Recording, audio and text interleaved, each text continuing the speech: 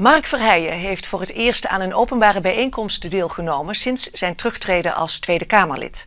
De VVD'er stapte drie maanden geleden op na ophef over declaraties in zijn tijd als gedeputeerde van de provincie Limburg.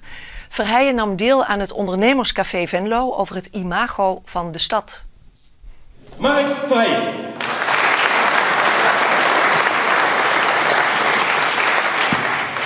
Nee, naar omstandigheden gaat het goed. Uh, ik ben wel blij weer hier te zijn. Ik zie gelukkig nou, bijna iedereen weer bekende hier in de, in de zaal. Uh, en dat doet weer goed. En gewoon weer eens praten over, uh, niet over het verleden, maar over een belangrijk onderwerp voor Verheijen wilde dus niet praten over de declaratieaffaire die hem de kop kostte als Tweede Kamerlid. Ook niet na afloop. Verheijen was meteen verdwenen.